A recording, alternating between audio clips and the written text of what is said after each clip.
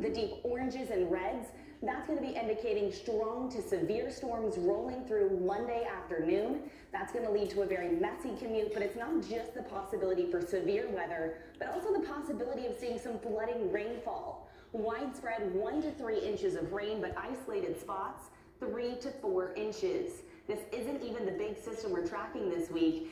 One of them, storms on Monday, but watch as this front drops its way into the area. Snowfall on Wednesday for areas across Oklahoma and North Texas. Then Wednesday night into Thursday, heavy showers and thunderstorms, and behind it, much cooler air that's going to bring with it the possibility of some winter weather. Models still not in agreement, but what I can tell you, regardless if we see a little bit of a wintry mix, you are